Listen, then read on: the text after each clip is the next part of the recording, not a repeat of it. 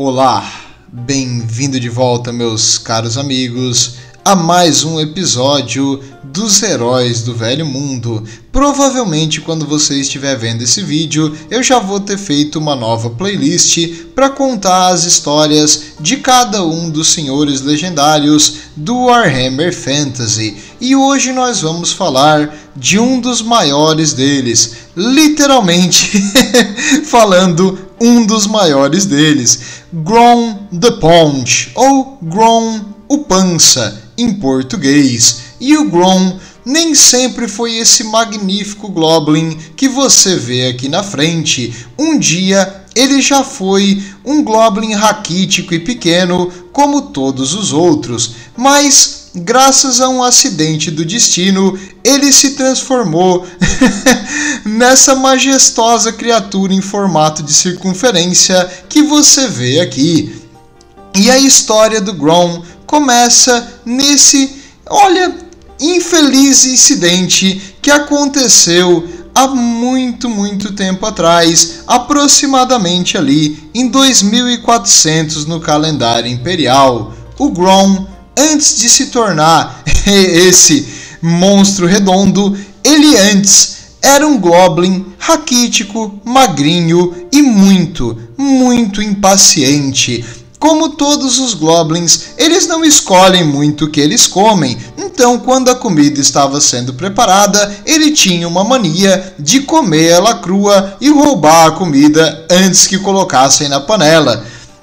E por um bom tempo nada aconteceu com ele, já que o intestino dos pele verde é bem resistente, o estômago deles também.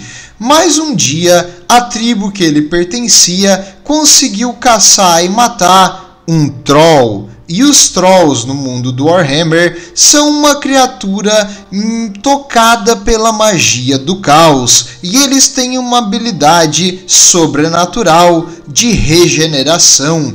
E quando tu corta a carne do troll, ela continua se regenerando. Claro, não para sempre, mas tu digamos tu corta o braço de um troll, aquele braço pode regenerar outro troll. É uma coisa surreal, porque eles são criaturas misturadas com a magia do caos. Que, aliás, toda magia é caos, né? Mas isso não vem ao caso. É a questão é que a carne dos trolls tem que ser bem preparada antes de ingerida, porque ela vai continuar crescendo dentro da barriga de quem consome ela até fazer a criatura estourar e possivelmente pode nascer um troll novo de dentro do que do que tentou comer essa carne crua. Mas se propriamente feita, bem bem salgada, mas bem salgada mesmo, e depois cozida e bem tostada, e até ela parar de se regenerar, é uma iguaria que muitas espécies do mundo gostam de comer porque ela dá uma sensação de estômago cheio por olha, alguns dias ali se tudo der certo. Então, os goblins tendo caçado esse troll, cortaram ele em picadinhos e começaram a preparar a carne. Enquanto isso, o Grom foi na pontinha dos pés de um método muito sorrateiro pegou um pedaço da carne crua e enfiou goela abaixo, sem nem mastigar. Nesse momento, ele começou a sentir uma pressão intensa no seu estômago e começou uma dor, uma dor, uma dor, e ele gemendo e girando para um lado e para o outro, e aquele e os outros goblins rindo da cara dele porque não, não percebeu que aquilo era carne de troll, mas sabe que os pele verde não são conhecidos pela sua percepção nem inteligência. Então agora os goblins e os orcs da tribo se juntaram para ver ele explodir. Normalmente o que acontece quando alguém come carne de troll crua é que a barriga vai aumentando, aumentando, aumentando até estourar. Uma coisa divertida, um show para a tribo inteira. Então eles ficaram ali ao redor esperando o fatídico momento, fatídico, fatídico, ah, que palavra difícil, o momento que o Grom iria explodir. E ele ficou ali gemendo e caído no chão, e essa foi a famosa Batalha do Estômago, onde o ácido do estômago do Grom tentava digerir a carne de Troll e a carne de Troll tentava regenerar mais rápido que o ácido pudesse destruir. Com o tempo, passou-se as horas e horas e horas e a barriga do Grom continuou crescendo. Não só a barriga, o corpo dele, graças à extrema habilidade de adaptação dos pele verde, também continuou crescendo até o momento que ele ficou quase do tamanho de um orc, e isso apenas no período de um dia, e os orcs e os goblins esperando ele estourar e nada dele explodir, enquanto ele continuava crescendo com muito sofrimento ali na barriga, e assim ele ficou por algumas semanas com uma dor de barriga terrível, só que não ele não vomitava nem nada saía por baixo, porque os orcs eles têm um esfíncter anal, eles conseguem evacuar e fazer fezes, e eles comem normalmente e as coisas que eles comem estimulam também o seu crescimento. E por estimular o seu crescimento, olha, carne de troll fez ele aumentar e muito, tanto o tamanho quanto o volume corporal. E depois de algumas, alguns dias ou talvez algumas semanas, eles não comentam muito quanto tempo isso aconteceu, até porque eu acho que ele não estava prestando atenção nas horas enquanto ele sofria, mas o Grom venceu a Batalha do Estômago e se transformou no maior Goblin que já pisou na face do mundo antigo, quase do tamanho de um orc, com muito mais força que um Goblin convencional e uma pança que qualquer ogro consideraria ele de extremo respeito, talvez até de uma linhagem real, porque os ogros valorizam a cintura abdominal como status de poder numa sociedade.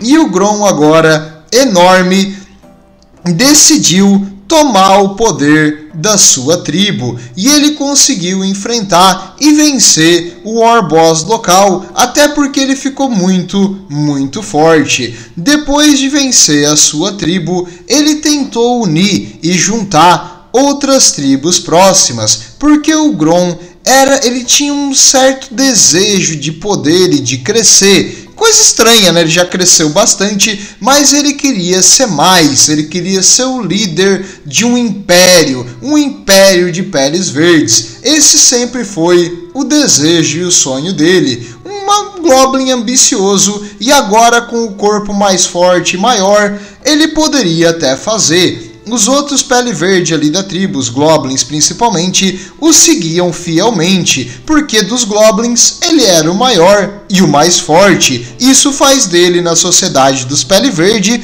obviamente, o verdadeiro rei e o líder nato. E o Grom agora então conseguiu juntar no seu grupo um enorme número de goblins seguindo ele. Porém, os orcs não respeitavam muito ele, pois ele era menor e então ele foi considerado apenas um, um boss, um chefe de guerra dos Goblins. Os Orcs procuraram outros chefes maiores para seguir. E o, o, nosso Grom não deixaria isso aí sair barato. Ele ficou com uma certa inveja e uma vontade de aumentar o seu exército e mostrar o seu valor. E também comer alguma coisa, esse negócio de valor poderia vir depois, porque o apetite dele depois de comer aquela carne de troll ficou imenso. Nada mais saciava ele direito e ele adorava experimentar comida o tempo todo, bebia tudo que era tipo de bebida e ele estava sempre comendo. Então os goblins tinham que procurar qualquer coisa para saciar a fome dele, senão eles poderiam ser a próxima janta. Ok, mas o apetite do Grom à parte, ele ficou muito mais forte e maior do que qualquer Goblin e sua barriga extremamente enorme e maior até que o seu tamanho. E agora que o Grom conseguiu muitos goblins ao seu redor, ele precisava de um jeito de caminhar, porque andar nos seus pés ficou extremamente difícil, já que a sua barriga era enorme e o seu peso muito maior do que um goblin convencional.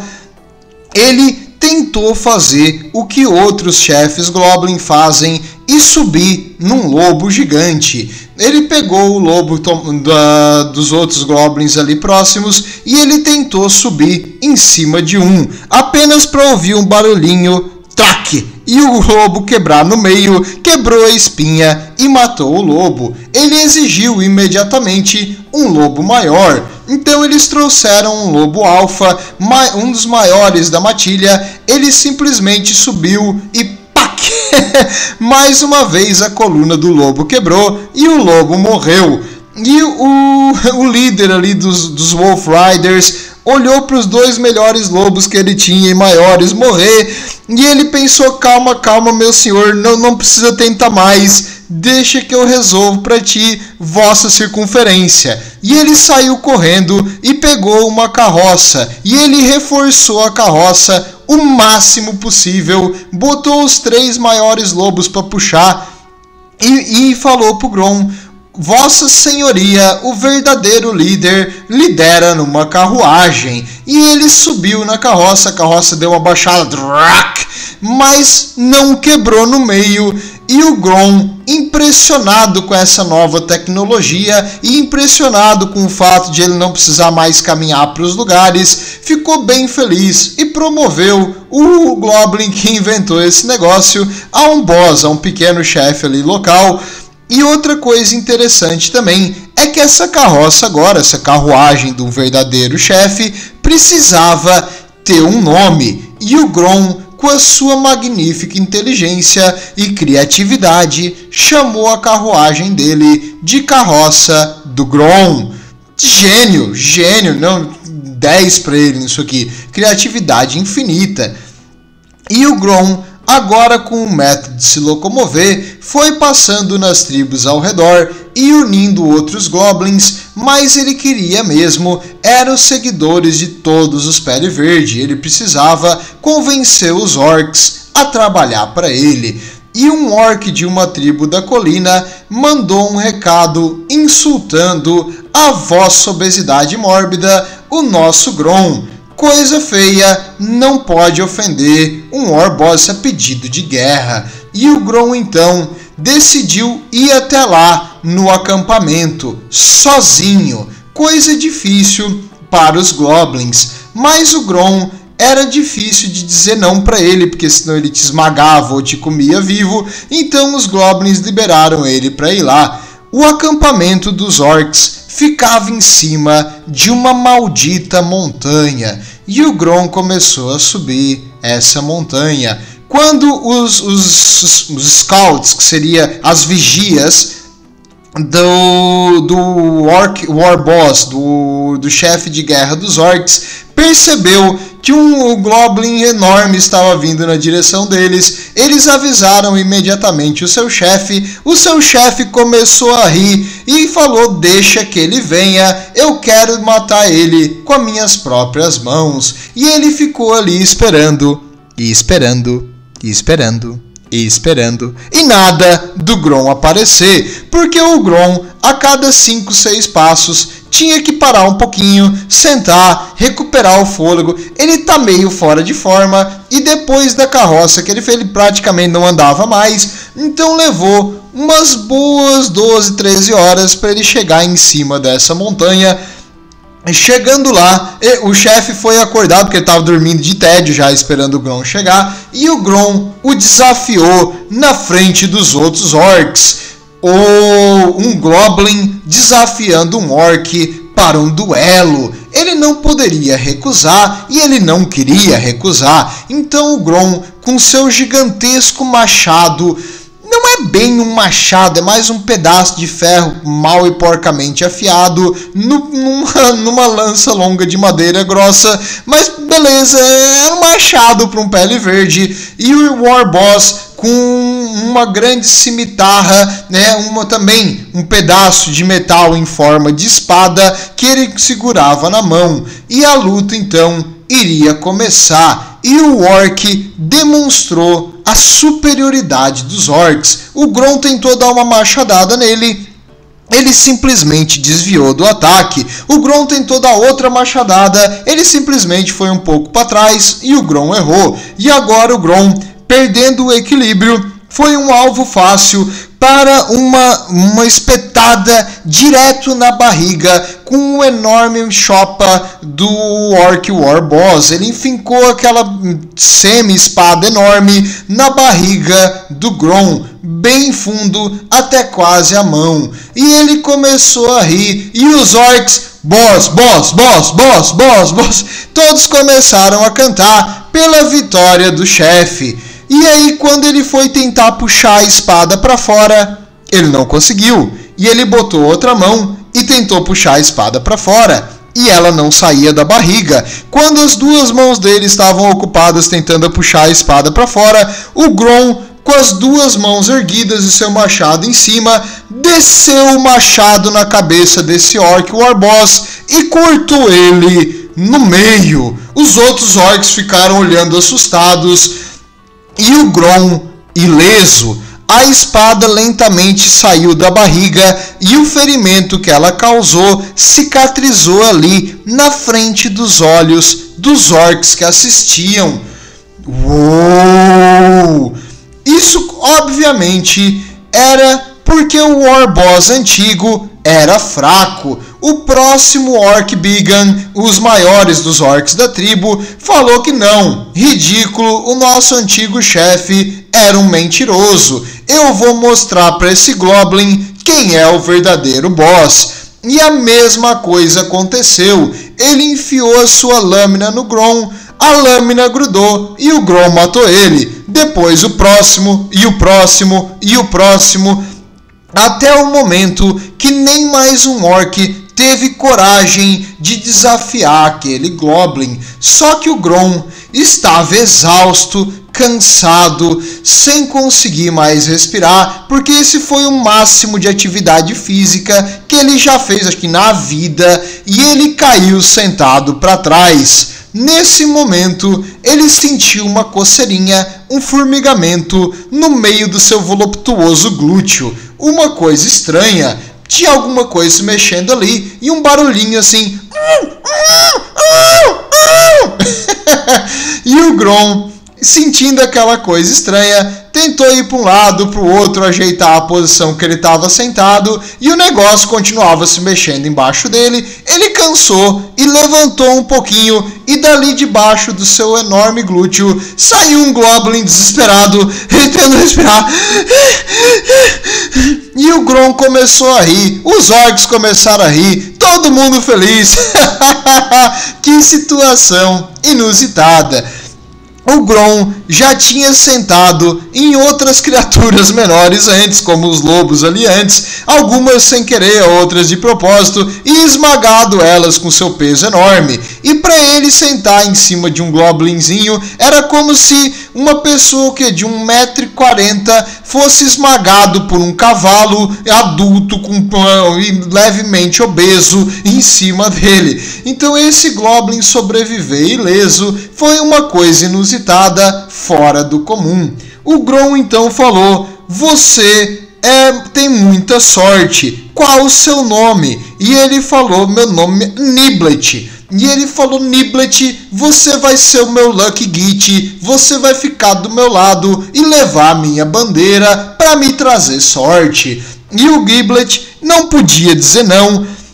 Ele ficou ali do lado dele, levando a bandeira, e desde o dia que ele encontrou o Niblet, a bandeira do Grom foi chamada também, de uma maneira extremamente criativa, Bandeira da sorte, já que o Goblin que, pega, que usa ela tem sorte. Olha só a criatividade desse cara aqui. Meu Deus, é, é um artista nato. ah, ele devia escrever poesia, mas ok. Agora com a sua bandeira da sorte e o seu confiável Goblin que não sai do lado dele, o Niblet. Até porque se ele sair, o Grom provavelmente vai matar ele. Então é melhor ele fazer tudo o que ele pede. E o Grom agora continuou a sua campanha com os orcs ali ao seu lado. com as tribos de Orc, a sua fama se espalhou por toda Badland e ele conseguiu juntar um enorme contingente de peles verdes. Como todo Warboss que consegue um enorme número de seguidores, ele decide que tá na hora de buscar coisa melhor para matar e pilhar e ele ouviu falar que existem depois das montanhas do fim do mundo uma terra fraca, fácil de pilhar, com ouro e recursos e principalmente comida em abundância. E comida em abundância e está falando a língua do Grom. Ele decidiu juntar os seus seguidores e liderar a maior WOG que o mundo já viu. Todos os orcs que seguiam ele foram marchando por cima das montanhas do fim do mundo. Os anões, liderados pelo alto rei Bragaric nessa época, é, em, eles perceberam o movimento dos Pele Verde em 410 no calendário imperial, fizeram um plano para lidar com eles. Assim como outras WOGs que vinham da, da Badlands, eles iriam interceptar esses Pele Verde em Blackfire Pass uma passagem nas montanhas que facilitava muito as defesas e permitia que os anões, mesmo em números menores, pudessem usar sua artilharia, sendo protegidos pela, pela altura e pelo corredor estreito das passagens entre as montanhas. E à frente deles, eles viram o exército de pele verde, a grande fumaça que vinha no horizonte da marcha deles, liderados à frente por uma coisa enorme e redonda. E esse, esse enorme e redondo puxado por uma carroça de lobos. E o Grom, na ponta do seu exército, ordenou um ataque total. Os anões estavam contando com isso e preparados. Um a um, as centenas de goblins e orcs foram eliminados por balas de canhões, tiros de thunderers e flechas além de cargas explosivas previamente colocadas, desabamentos de pedra ao lado para derrubar um grande número deles, mas tinha uma coisa no meio daqueles pele verde que mesmo para um guerreiro anão, dos pés à cabeça, blindado com a melhor armadura que o mundo já viu, o Grom, com seu machado gigante e uma carroça de lobos, vinha e matava uns 4, 5 anões em um simples ataque. A carroça dele às vezes era destruída, ele continuava matando vários anões ao redor, até que os seus homens o puxavam para trás e o tiravam da batalha.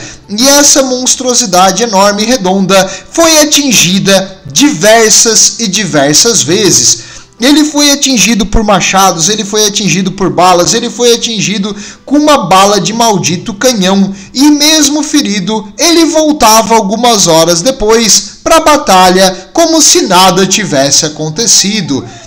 Absorver aquela carne de troll deu a ele um poder de regeneração dos trolls. Só que os pele verde, desculpa, os anões não sabiam disso. E depois de um dia inteiro de conflito e com as linhas sendo reduzidas por causa desse, sei lá o que os anões, os anões não sabiam o que, que ele era. Eles achavam que era o tipo de troll mal formado ou algum tipo de squig que eles botaram com braços, uma coisa estranha, porque não parecia ser um pele verde convencional.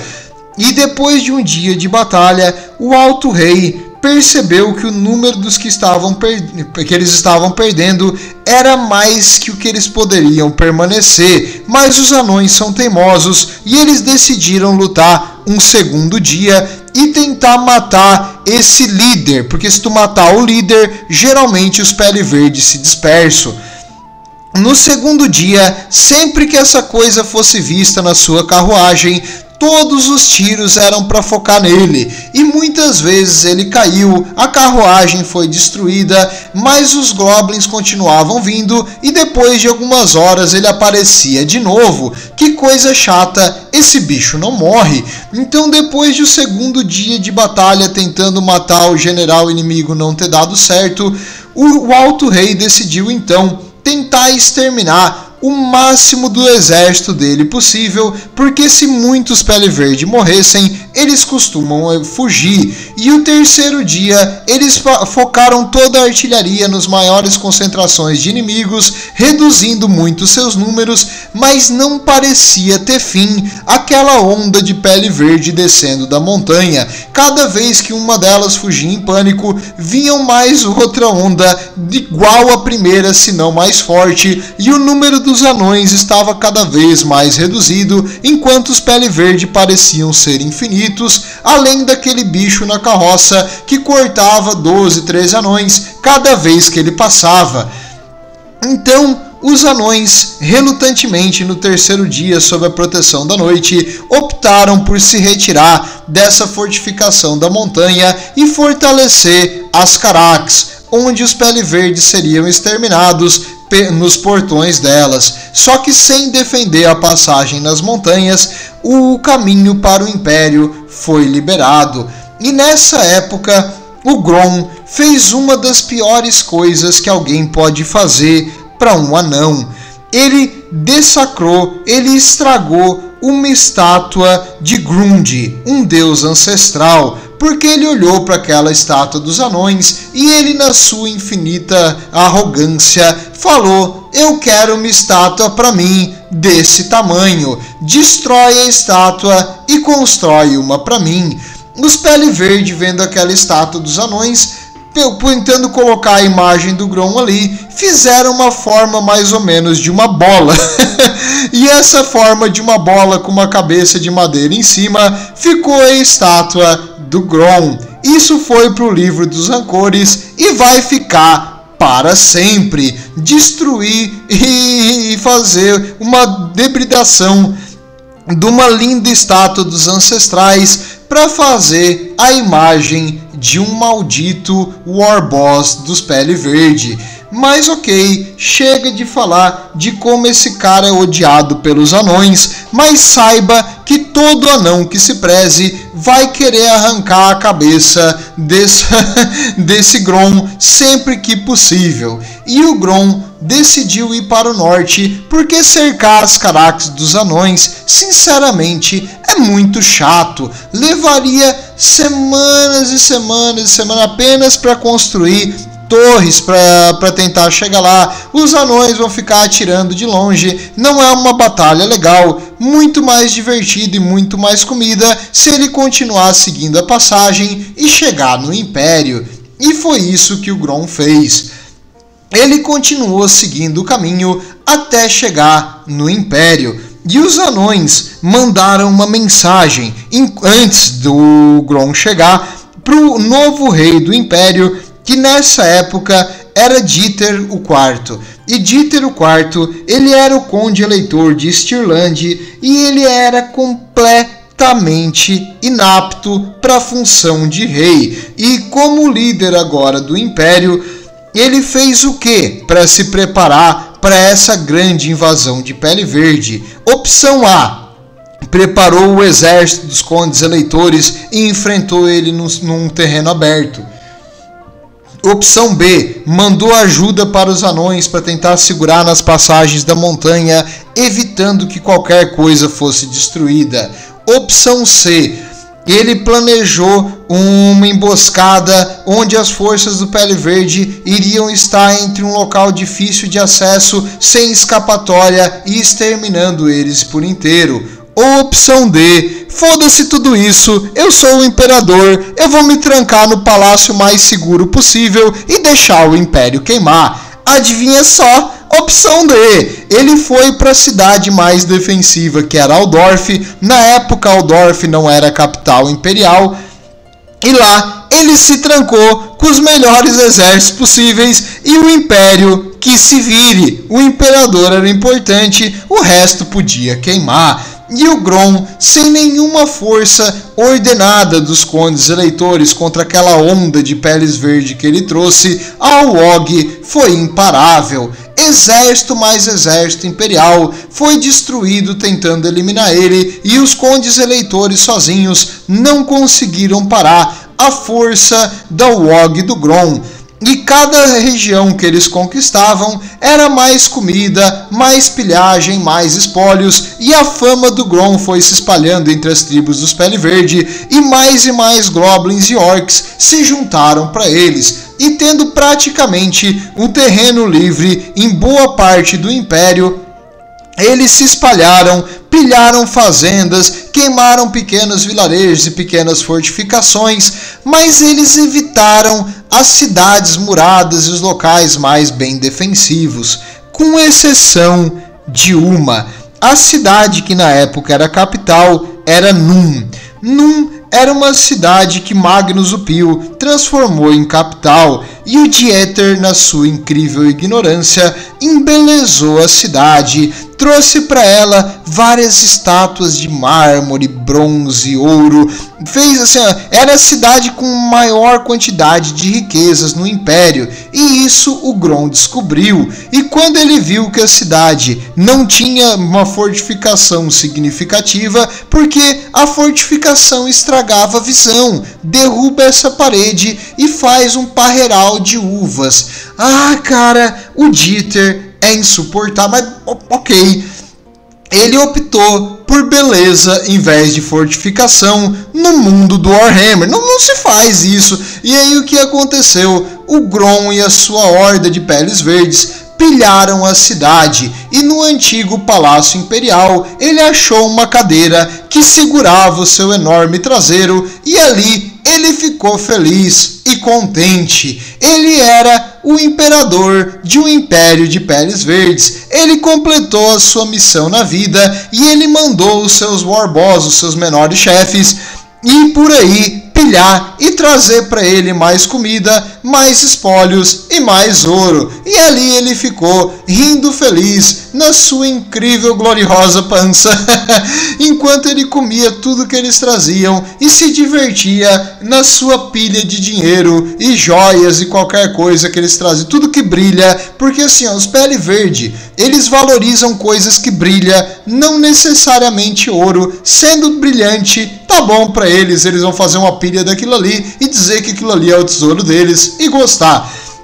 Então o Grom agora, sentado num trono de ouro, cheio de ouro e estátuas ao seu redor, feliz da vida, comendo e bebendo. Era o paraíso para ele. Só que para os orcs, que ele é um goblin, é, isso aí não estava bom o suficiente. Os orcs querem sempre, sempre, sempre buscar uma batalha, um conflito. Até mesmo os mais fortes e maiores dos orcs nessa época se juntaram com o Grom, os Black Orcs. Então eles ficaram o tempo todo enchendo ele para que ele fala, fizesse alguma coisa e levasse eles para mais uma batalha legal, tipo aquela contra os anões ou contra os exércitos imperiais que agora estavam dentro das suas fortalezas e se recusavam a enfrentar eles. Para não dizer que todo mundo no império era inútil, um primo do Dieter ali desse imperador inapto, ele, o príncipe Wilhelm, esse aí sim sabia o que estava fazendo. Ele conseguiu organizar uma milícia para defender os vilarejos e as regiões mais separadas de Highland, além de organizar várias ordens de cavaleiros e atacar os dispersos grupos de pele verde, porque agora eles não estavam mais concentrados numa WOG unida, eles estavam dispersos pelo império inteiro. Então eles começaram a caçar e derrubar alguns grupos menores. Sempre que os pele verde vinham em maior número, eles simplesmente atiravam a distância, subiam nos cavalos e corriam o mais rápido possível, negando para eles uma batalha. E negar para um pele verde uma batalha é uma coisa assim, é uma falta de decoro, meio que uma ofensa. Então, os Warboss ali que estavam separados pelo Império pediram por favor ao grande Grom, leve a gente para um conflito, para uma batalha. E nesse momento, o xamã que ficava do lado do Grom e sempre escutava as mensagens de Gork Mork fez uma profecia para ele: O teu destino é ir para o mar. Se tu não for, os deuses vão te amaldiçoar e tu vai passar fome. Nesse momento, o Grom levantou da cadeia passar fome, não. Fome no meu império PLV jamais. ele chamou os seus warboss, convocou eles todos e eles iriam marchar para o mar, já que os deuses mandaram ele ir para o mar, para lá ele vai. O que, que é o mar? Não sei, ele também não sabia, mas ele iria para o mar, sem saber o que, que o mar era. E eles foram então em direção ao oceano, atravessando outras cidades imperiais. Algumas vezes ele já foi atingido e atacado por grupos menores ou exércitos condes eleitores, mas nada que ameaçasse aquela formação maciça de pele verde marchando. Teve uma vez que a carroça dele foi destruída por uma bala de canhão de uma cidade imperial. Ele não foi ferido e ele ordenou, até porque ele tem sorte, né, já que o, o Niblet está do lado dele, ele ordenou que os soldados dele atacassem a cidade, mas não para destruir, apenas para pegar o, um, achar a construção maior que existia na cidade e arrancar toda a madeira dessa construção para fazer uma nova carruagem para ele. E nessa cidade eles invadiram. A cidade se chama Middleheim e em Middleheim a maior construção que existia era o templo de Ulrich, o templo do lobo branco. Lá eles invadiram o telhado, derrubaram o telhado do lugar, pegaram a madeira, reconstruíram a carroça, botaram novos lobos e o Grom continuou o seu caminho para o mar. Os moradores, não entendendo o que tinha acontecido, achando que a cidade iria ser atacada sem parar, apenas o templo foi pilhado da madeira e mais nada. Esquisito, mas ok. Quem é que vai entender o que passa na cabeça de um pele verde? E o Grom, tadinho, tudo que ele queria era ter o seu, seu império pilhando, matando e atacando todo mundo civilizado, mas nunca tem um dia de folga para os nossos pele verde. Chegando próximo do mar, eles viram que o mar é feito de água e água e peles verde também não se mistura muito, então como eles iriam passar? Muito inteligente, os goblins sugeriram utilizar barcos. Bom, bom, boa, barcos. Que barco? A gente não sabe fazer barco, o que a gente vai fazer, mas quão difícil deve ser tu construir um barco para atravessar o oceano. Deve ser simples. Então o Grom mandou todo o seu exército atacar a floresta dessa região onde eles estavam, e essa área que uma vez já foi uma densa floresta, agora é pura planície e devastação, porque eles cortaram praticamente todas as árvores e transformaram elas em enormes jangadas e barcos improvisados.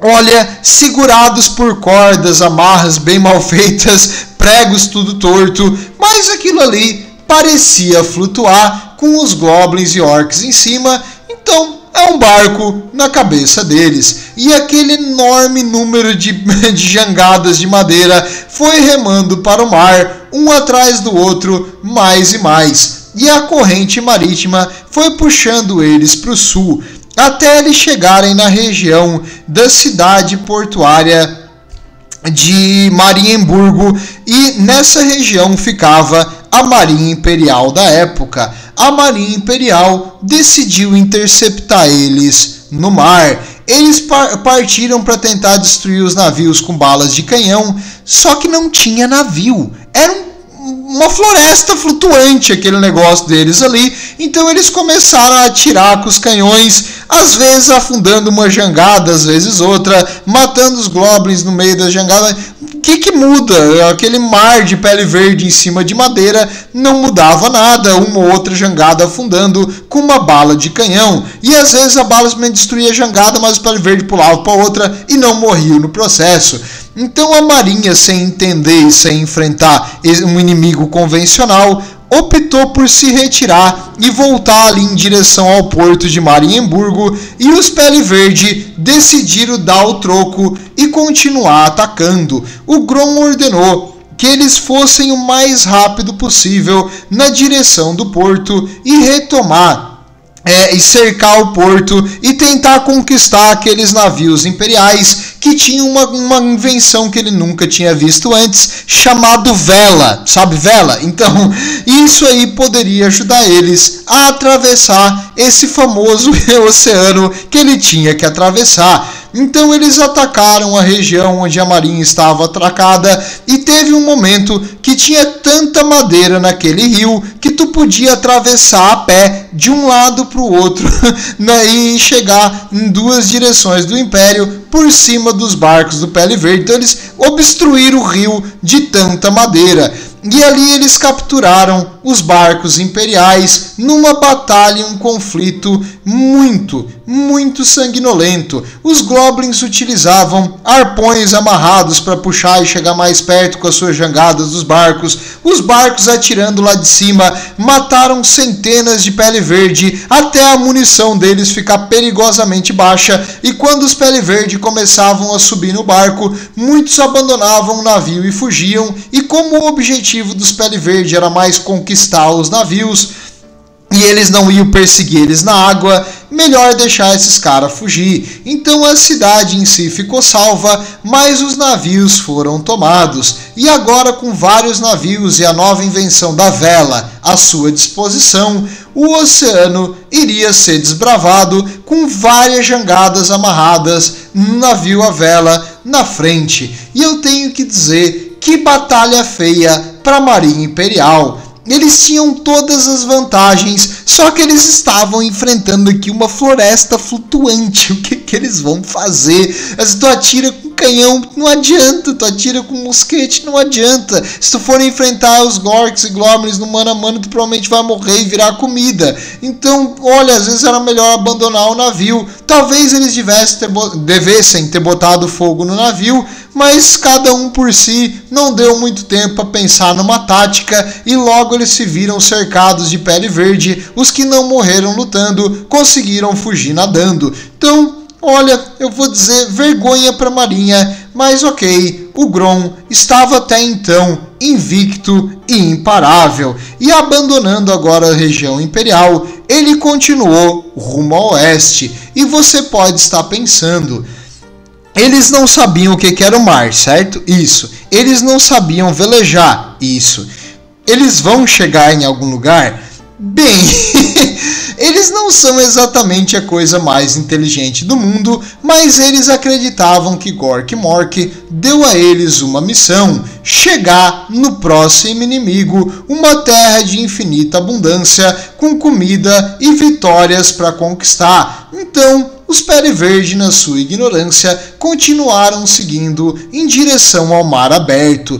Um número muito, muito grande deles, assim como os Skaven na grande diáspora dos Skaven lá atrás, virou comida de peixe, se afogando. Eu não sei o quanto o peixe gosta de comer fungo, mas no caso, a comida de tubarão e dos monstros marítimos, só que aquela floresta flutuante incrivelmente chegou em uma costa, a costa de Ultuan, a terra mágica dos elfos, a oeste, onde ficam ilhas flutuantes, rochas eh, no meio do oceano que flutuam, que descem, que ficam movimentando de um ponto a outro, uma região que antes era terra e foi inundada, e essa região, no, no caso, seria a leste de Utuan e a oeste da Terra Imperial. Ele seguiu a oeste, oeste, oeste até chegar aqui.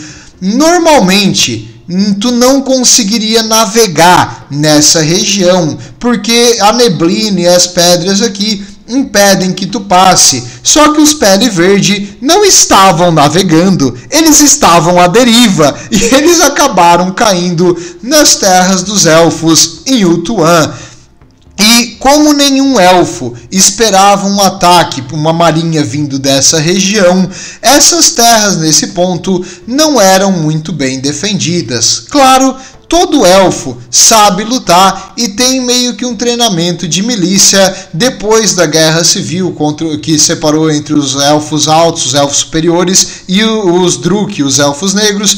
Então, depois dessa guerra civil, Todo elfo sabe também se defender, mas o exército em si não estava aqui a Marinha não estava aqui porque ninguém imaginava que uma WOG de pele verde ia aparecer de um dia para o outro na costa deles. E aqui então o Grom saiu. Ele olhou para as pequenas cidades, vilarejos que tinha ali, nenhuma defesa. Ele olhou para as fazendas, nenhuma muralha. O pessoal aqui não tem noção de nada. Essa era a terra de fácil pilhagem onde ele iria reconstruir o seu império, agora com mais violência e com mais comida. E eles começaram a se espalhar e devastar as terras de Utuan nesse lado. Pequenos vilarejos foram destruídos. O elemento surpresa aqui permitiu a eles devastar vários assentamentos dos elfos, conquistar várias regiões e comer bastante carne de elfo e várias outras coisas nesse meio período. E enquanto Grom destruía essas coisas, um dos seus xamãs notou uma coisa: os elfos têm umas pedras brilhantes esquisitas aqui. Essas pedras mágicas são uma bateria de magia. E o xamã, sentindo aquela energia, falou: Nós devemos destruir essas pedras mágicas, porque destruindo elas eu vou ficar mais forte e trazer mais magia de Gork Mork.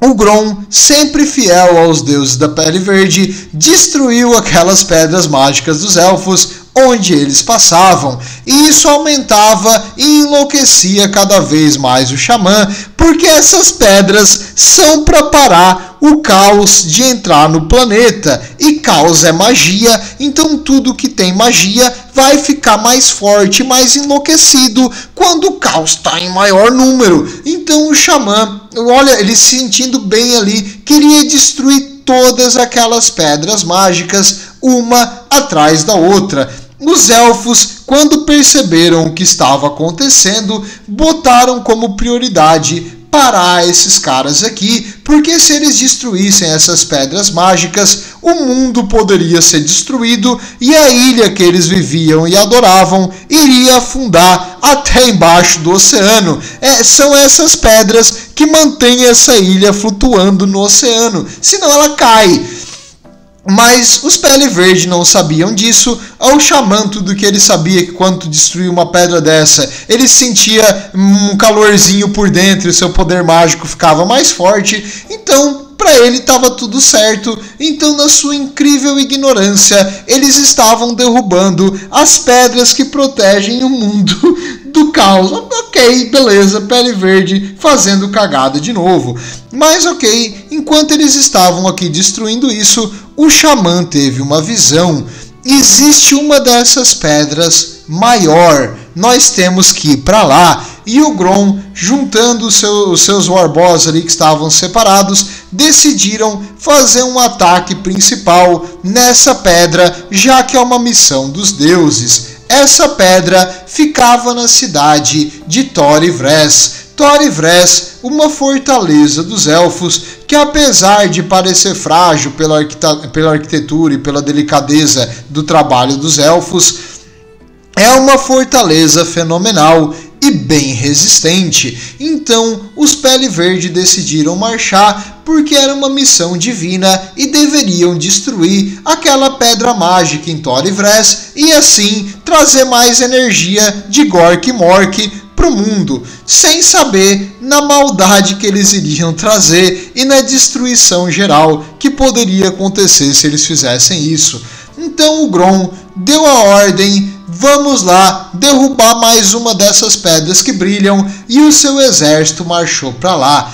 Outro detalhe também é que agora os elfos tinham se organizado e, mesmo sem muralhas, canhões e defesas, a situação aqui não era muito interessante para o nosso Grom, porque os goblins não tinham a menor chance contra as fileiras de milícia dos elfos, porque os elfos atacam primeiro, tem ataque que penetra a armadura é, e atacam em vários ranks, em três. Então os elfos são chatos, eles são realmente difíceis para o pele verde lidar.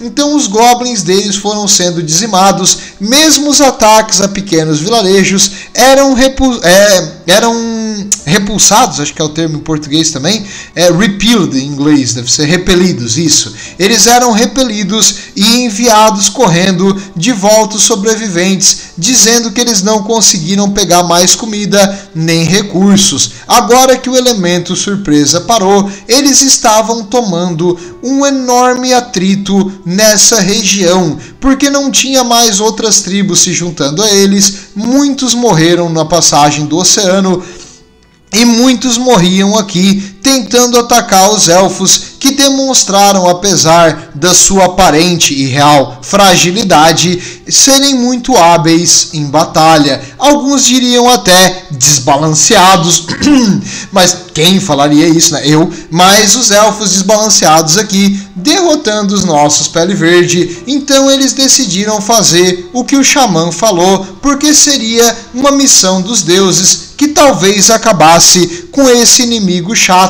que ficava tirando flechinhas brilhantes de longa distância e se escondendo atrás de muralhas de escudo com pontas de lança na frente. E os elfos, Apesar de tudo, esses aqui eram apenas uma força de milícia. Eles se armaram nos arsenais de Torivres e tentaram juntar o máximo de soldados possível. As forças do Grom fizeram hum, assim umas torres de cerco improvisadas ao redor, catapultas para tentar derrubar as muralhas e começaram a atacar. No primeiro dia de conflito, os elfos conseguiram repelir os ataques, utilizar magia e fênix para destruir algumas das torres, mas os tiros dos Pele Verde eventualmente derrubavam os elfos de cima da muralha e os elfos ali não conseguiam repor o seu número. E apesar da sua posição defensiva na muralha, eventualmente uma enorme pedra tirada por um Rocklobber caía e destruía uma torre, derrubava vários elfos de cima da muralha. Então o atrito estava se fazendo valer e ainda tinha muito mais Pele Verde do que elfos defendendo Thor e Vres. Se continuasse desse jeito, a muralha iria cair. E os elfos, no segundo dia, tentaram ganhar tempo para reparar a muralha e ir para o campo de batalha, botando suas fileiras de lanceiros em campo aberto, apenas para serem cercados e envelopados, fazendo um pequeno bolsão pelos goblins que andavam em lobos gigantes, enquanto os arqueiros em cima da muralha desesperadamente tentavam ajudar os seus soldados lá embaixo, os elfos da milícia cercados, atacando em todas as direções por lobos, orcs e pele verde. Alguns conseguiram voltar para dentro da muralha, mas muitos foram eliminados no, nos campos abertos e agora em ruínas ao redor de Torivres. Então não foi muito útil, mas as brechas nas muralhas que foram derrubadas pelos Rocklobbers nos dias anteriores foram reparadas, então pelo menos as muralhas estavam firmes e os orcs não conseguiram penetrar. Os goblins e orcs tentaram trazer martelos para bater no portão, escadas para subir na muralha, e quando a batalha estava acirrada, tanto lá em cima quanto o portão estava cedendo, o xamã dos Pele Verde subiu uma montanha e começou a invocar uma enorme tempestade. O céu começou a ficar escuro, trovões começaram a cair e os, os orcs e goblins enfurecidos pela força daquela magia da Wog. De repente, o Grom olhou para o seu xamã a última vez, abriu a sua boca e viu dos céus um grifo descendo. Eu não sei imitar a porcaria de uma águia, mas o grifo é misturado com uma águia, um leão.